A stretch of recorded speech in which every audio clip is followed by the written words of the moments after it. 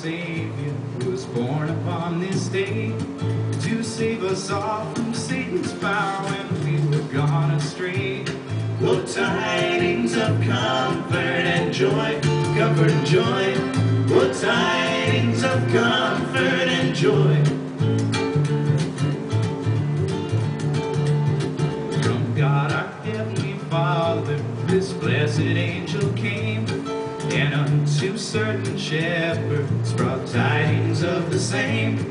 How that in Bethlehem was born the Son of God by name.